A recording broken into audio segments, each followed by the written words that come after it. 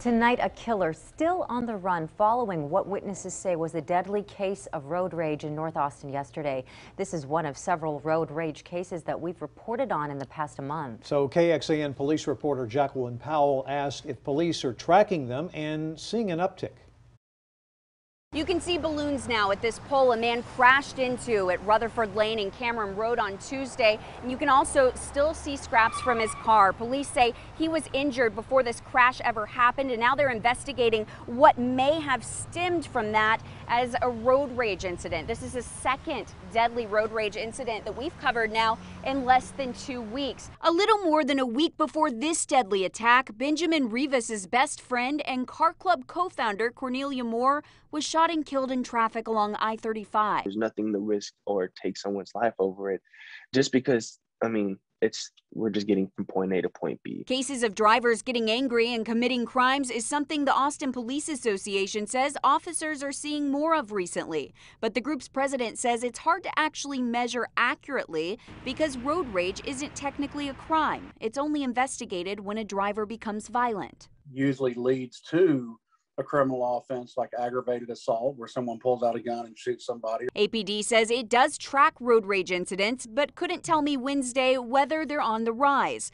TxDOT measures road rage only when it results in a crash. So far, that agency's number of those cases in Austin this year is on track to be about the same as the last few years.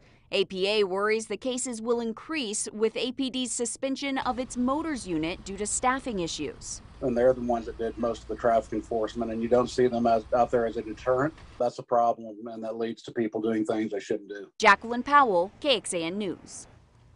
Road rage reports increased enough in recent years. More departments started tracking it as a separate category. Just this year, Dallas police began to track aggravated assaults involving road rage.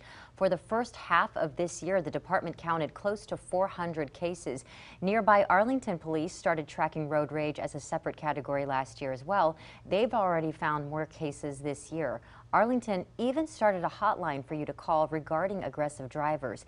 And Houston police started a road rage task force temporarily with CARES Act funding after a close to 30% rise in cases last year. There are steps you can take to help keep tempers in check and from causing or escalating a situation on the road.